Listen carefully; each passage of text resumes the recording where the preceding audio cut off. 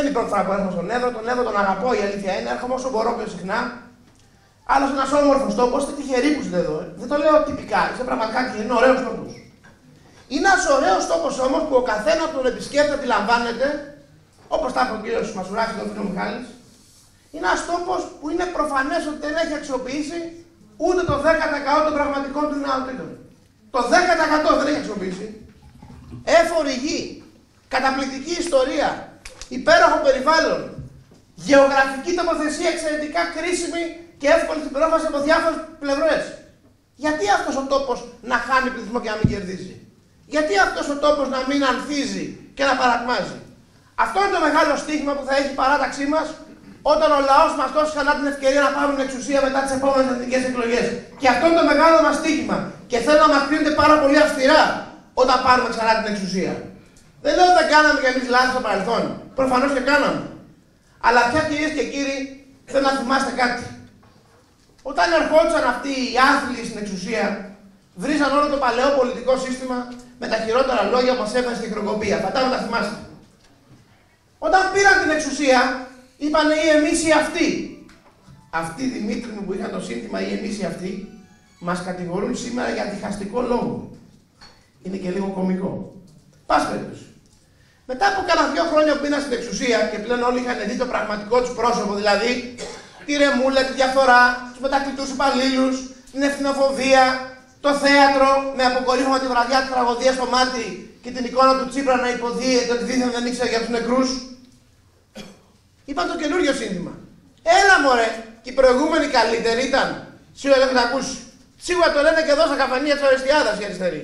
Έλα μωρέ, και οι προηγούμενοι καλύτεροι ήταν.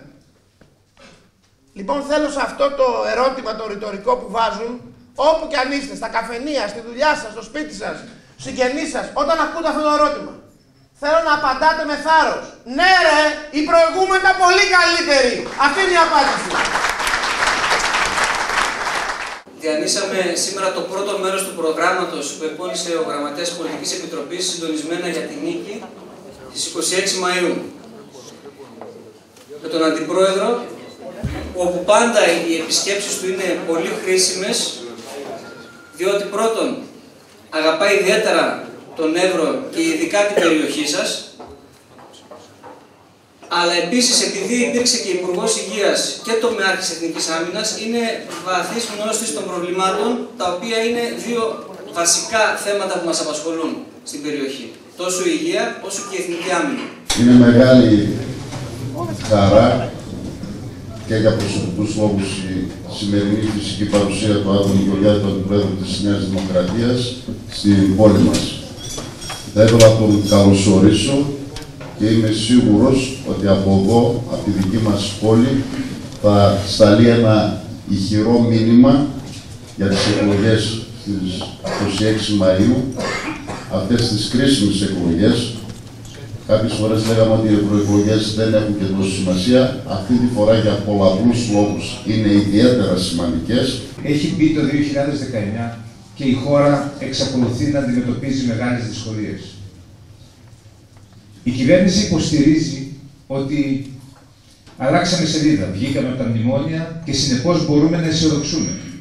Η πραγματικότητα όμως λέει πως οι πολίτες αγωνιούν για το μέλλον τους, βιώνουν αδιέξοδα, αγωνιούν για το μέλλον το δικό τους, των παιδιών τους, των οικογενειών τους, των επιχειρήσεών τους.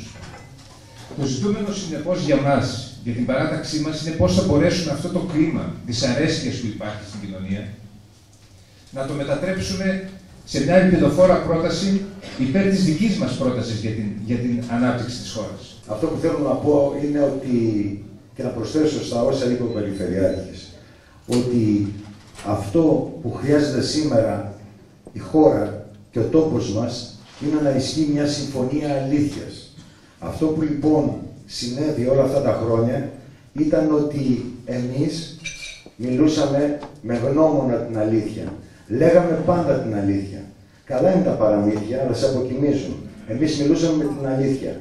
Και η αλήθεια είναι ότι προχωρήσαμε παρά το ότι επί δυόμιση χρόνια είμαστε ο μοναδικός νομός σε όλη την Ελλάδα που είμαστε σε κατάσταση έκτακτης ανάγκης. Θα ήθελα να ευχαριστήσω πάνω απ' όλα την ΟΔΕ για την πρόσκληση και τον κύριο Αντιπρόεδρο, ο οποίος μου έδωσε την ευκαιρία να έρθω μαζί του και να συναντήσω πάρα πολύ αγαπητούς φίλους από το πρωί που έχω έρθει στον Εύρο. Ε, όλοι, με έχετε, ε, όλοι με έχετε αγκαλιάσει με αγάπη και θέλω να σας ευχαριστήσω και γι' αυτό. Ήθελα να πω ότι πολλοί κόσμος λέει ότι οι άνθρωποι λένε μάλλον ότι δεν, δεν θυμάσαι ε, τι, τι, σου έκαναν, δεν θυμάσαι τι σου είπαν, αλλά θυμάσαι πάντοτε τι σου, πώς σε έκαναν να νιώσεις. Και εμείς τα τελευταία τέσσερα χρόνια νιώσαμε πολύ άσχημα. Η Ελλάδα τα τελευταία 40 χρόνια οδηγήθηκε στη συρρήκνωση της υπαίθρου και στο μεγάλωμα της Αττικής. Εσείς βέβαια εκλέγεστε εκεί και έχετε όλο το λόγο να απευθύνεστε σε εκείνον τον κόσμο. Μια παρένεση. Το δημογραφικό αυτή τη στιγμή δεν είναι μόνο πρόβλημα της Ευρώπης, αλλά είναι πρωτίστως της Ελλάδος. Πρωτίστως του Εύρου. Και ο Εύρος για μένα, το λέω ότι είναι ο σημαντικότερος νομός της περιφέρειας Ανατολικής Μακεδονίας και Θράκης, αλλά είναι αυτό που λέω είναι λίγο, είναι ο σημαντικότερος νομός της Ελλάδος για πολλούς και διάφορους λόγους. Μια πρόταση λοιπόν και θα καθίσω. Όπως δημιουργήθηκε από την Ευρωπαϊκή Ένωση, κύριε Ευρωβουλευτά, Υπουργείο Μεταναστευτικής Πολιτικής, γιατί είχαμε πρόβλημα μετανάστευσης και εγώ νομίζω ότι οι Υπουργεία δημιουργούνται όταν έχουμε πρόβλημα. Είχαμε πρόβλημα ανάπτυξης, κάναμε ε, Υπουργείο Ανάπτυξης, έχουμε πρόβλημα. Οπότε πρέπει να δημιουργηθεί Υπουργείο Δημογραφικής Πολιτικής. Όπως αντιλαμβάνεστε, η εδώ παρουσία του Προέδρου μας πριν από 7 μέρες και σήμερα του Αντιπροέδρου μας αποτελεί για μας ιδιαίτερη τιμή και από πλευράς της ηγεσίας της παράταξής μας. Είμαι σίγουρος ότι και εμείς, όπως φαίνεται στα πρόσωπα όλων μας, θα φανούμε αντάξει αυτής της προσδοκίας τους. Διότι και η εδώ παρουσία του Προέδρου μας πριν από μία εβδομάδα, αλλά και εδώ η παρουσία του Αντιπροέδρου μας γεμίζει όλους μας ελπίδα και αισιοδοξία.